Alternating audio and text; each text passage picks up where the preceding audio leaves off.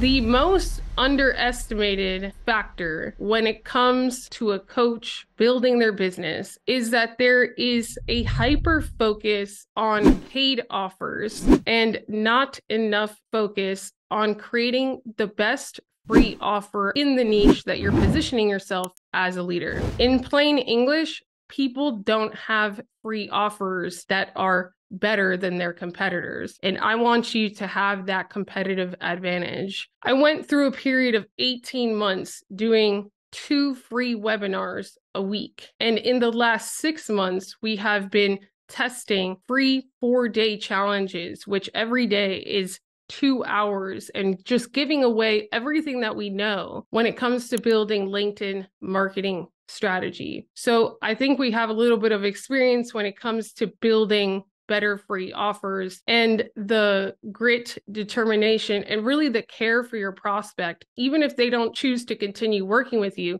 that you have to have when you're designing these things. I'll let Shankar introduce himself and then we'll go into five things that you can do to create a better free offer so that you could grow your business in 2024. My name is Shankar Poncelet, owner of a marketing agency and also love AI and all things technology. What would you say about the free offer thing before we start? We have so many people nowadays that want to sell something that are present online. We see a lot of people getting access to the market that don't really have the experience. It just has gotten almost too easy to go in front of people and tell them, here, I can help you. And that's why it only makes sense that people are hungry for the proof is in the pudding. Show, don't tell see the other perspective and create something where it's a win-win situation you get contact information visibility and they get results i want to show you just two random messages that i got last week from people that registered for last month's free challenge and already got results for it. So this was the first one. She says, Hi, Shanee, I've been joining your free LinkedIn groups and started a newsletter because in the second day of the challenge, we talk about newsletter launch and growth. Today, I sent out my fifth one, and within two hours of posting, I had two people outside of my network reach out to me for potential speaking engagements. I haven't talked to them yet, but that alone is a win. Thank you for making free training accessible to all. I am grateful for you, Ruby. So this is someone that is just showing their gratitude. She didn't have to do this. I appreciate you, Ruby. I love getting messages like this. It's the reason why we do what we do. Another one, Liz. Thanks for the Grow Your LinkedIn for Entrepreneurs that I attended back in October. I published my first newsletter today after months of procrastination. I tried to follow your tips. I mean, you get those so often, and it's just beautiful to see. So, we're going to go through a process for you and your business if you want to grow in 2024. If you're a coach, this is a process that I would suggest going through if you want to create a better free offer. And what a better free offer does is that it gets more people willing to say yes to you, to potentially see and give you the chance to prove that you're the person that they should pay. Five steps for a free, better offer. Number one, what you're going to do is just take some time and audit what the top coaches in your particular thing that you do are offering people in their consultation, in their webinar, in their challenge, in their ebook so on and so forth. If you're in mindset, Tony Robbins is doing a webinar or a challenge, I don't think that he would be doing that unless it worked. You want to just look at the baseline of what is it that they're offering. That will give you a good perspective into what your prospects are used to when it comes to this type of learning experience. And again, it could be what do they include in a strategy session or a marketing audit or an ebook or a webinar or a challenge, whatever it is. So that's the first thing is to audit. And I would audit people, particularly in your industry, because it's a good indicator that it works and people that are at at least the top 10%. Where most coaches and consultants go wrong is step two. They don't necessarily choose a model that aligns with their particular skill set or strength. So if I am a terrible speaker and I'm just better on video, then I would probably not want to model someone that is a top person in the coaching industry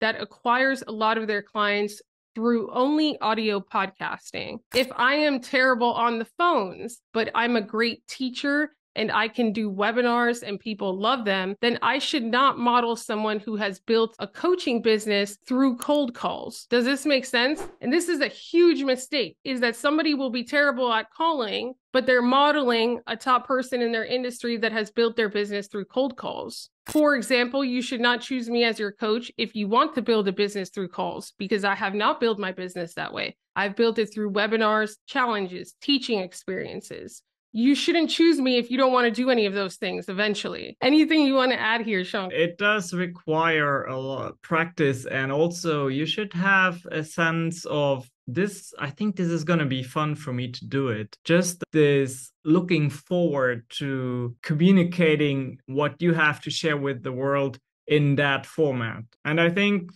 you on deep down you know that you know that like if you really don't like to teach and train then i would probably not recommend a webinar but maybe you love to facilitate and maybe what you could do is offer a more interactive workshop so there's different ways to play to your strengths and to differentiate but you really should choose a model where their strengths, personality, skill set almost match yours because you'll have a greater chance of success. Number three is to put yourself in your prospect shoes. So, what you would do is sign up for some of these experiences, not because you want to copy them, but because you want to just understand what is the baseline experience if I'm someone who's looking for this result. So, if I'm someone who wants to elevate my life and my mindset, I would go to three mindset challenges or webinars and I would just see what are the principles that they're teaching, which ones do I agree with, which ones do do I not agree with, which ones do I think would better serve the audience that are missing? You want to identify content gaps.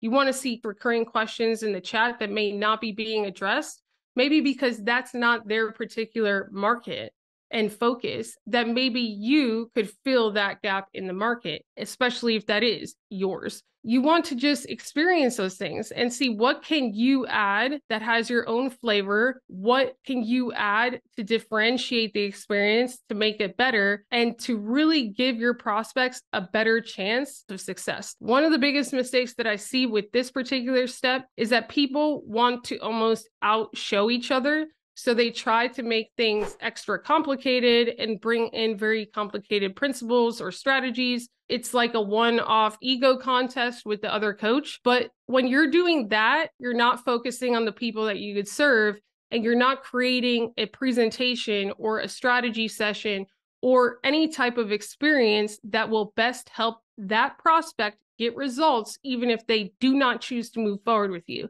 So sometimes making it simpler makes the experience better for the prospect. A lot of my stuff is simple things, but presented in a way where people could actually go do the thing.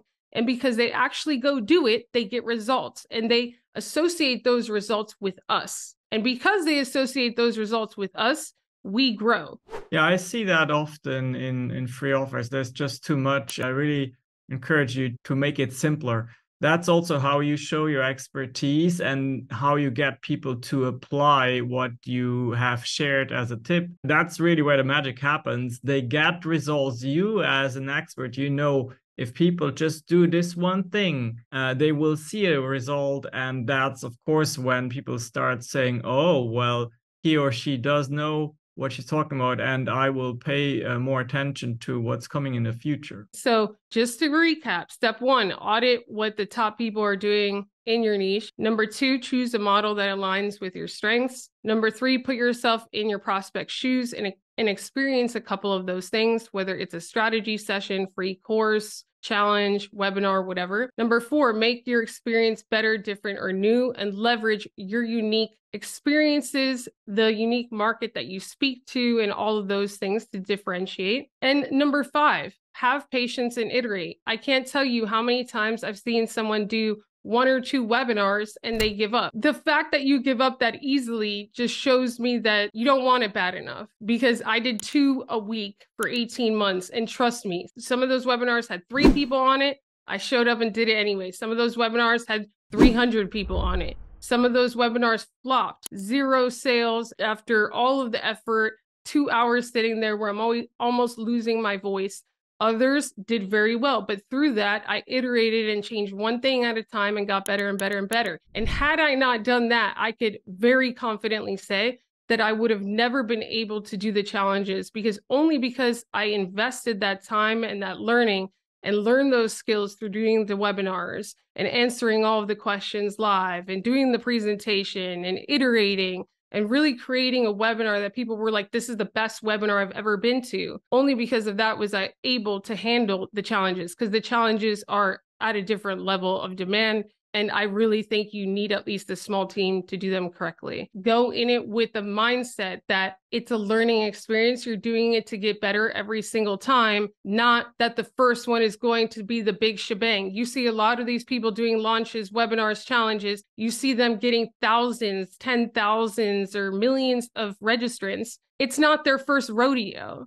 So just know that they did that for years, usually before getting that level of success. And the reason why they're getting it now is because they didn't give up and they just kept iterating and getting better. And it's a skill. It's a skill that you cannot fake and that you have to do if you want to get good at it. If you want to see what our free offer is like, go to yougrow.club, Y O U grow.club, and register for the four day LinkedIn challenge. It's completely free.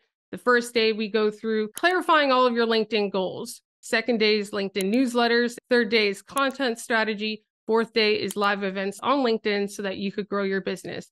To register, go to yougrow, yougrow.club, and we will see you there. And you hmm. could audit our free experience.